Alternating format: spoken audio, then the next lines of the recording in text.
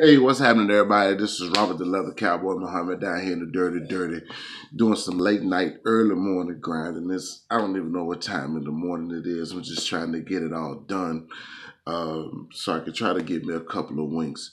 But uh, pushing these Christmas orders out. But uh, still, in the meantime, doing these videos for you guys as well as for myself.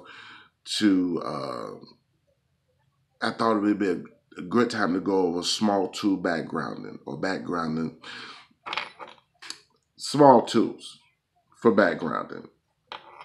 Uh, I just today, I'm, I mean, this week, I'm just so proud of myself anyway because I finally completed and done my very own, my first Sheridan art drawing. Uh, went down to Roanoke, Alabama, uh, and was taking some classes by from a lady named Dee Dee uh, Lawson. Beautiful, beautiful, tremendous, very talented lady. And she hasn't even been doing the business as long as I have, but she's very talented. I mean, can, man, she can draw the right, I mean, she can draw anything. But uh, anyway, drove down to Roanoke, took some classes, and uh, I encourage you guys if you really want to expand your business, expand your artwork, go further and farther than you've ever gone before, take the classes. Take the classes. I don't care how minuscule you think they are, they may be. Take the classes, um, and even like I said, be able to recognize talent. Because when I first saw Dee's artwork, I was just like, I thought she had been crafting for like years. I was getting ready to go meet some older lady, and she's like, man, she got to be in her thirties. But anywho, um, I've been I couldn't even draw four three months three four months ago. I couldn't even draw a stick man. But now, after taking Dee's class, we're now I'm uh, now able to start doing my own sharing Sheridan design. And this is going on to a long wallet that I'm designing now. And I'm very proud of this piece, very proud of this piece. But that's not really what I want to get you guys to see. As you can see, I've already prepped up my back duct tape to keep my, cut my pattern a little bit longer. So, I told you guys it's early in the morning.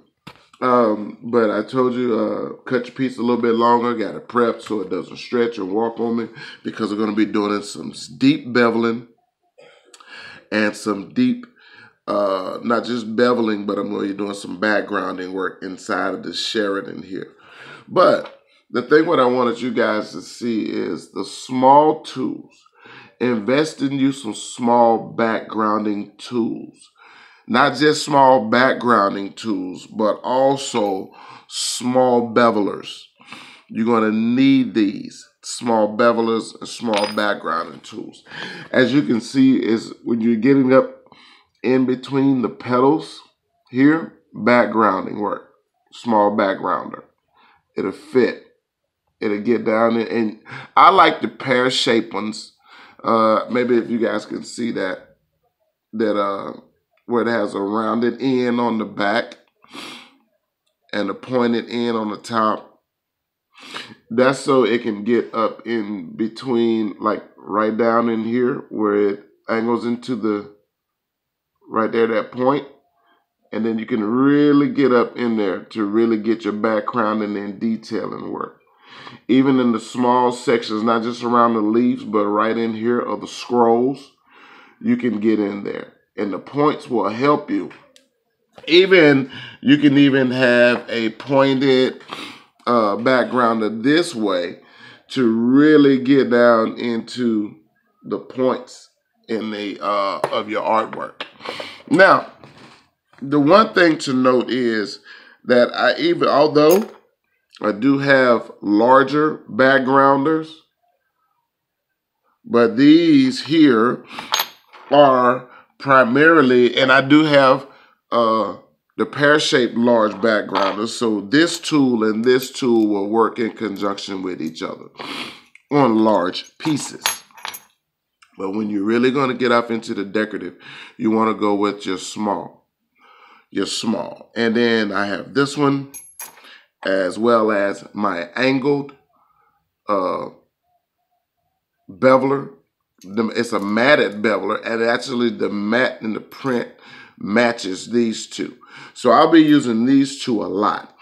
Uh, around my scrolls, here, as you guys can see around my scrolls, I took my steep beveler because I really want these scrolls to pop. As you can see that, when it really get to your steep bevelers, you really want your, your scrolls to pop and they'll come out real good. So I would recommend you get a very steep one.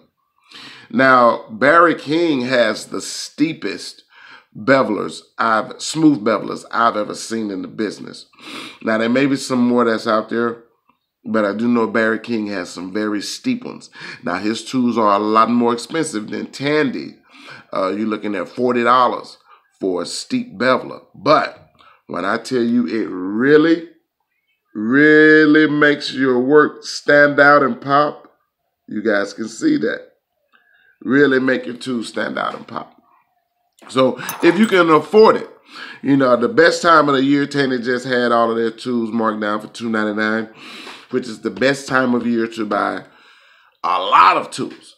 But when you're really getting off into your good pieces, or you really, especially when you really start to turn your your craft into an entrepreneurial uh, venue or avenue or if you're really trying to make some major money in in this in this culture, um, you really want to invest in use some great tools.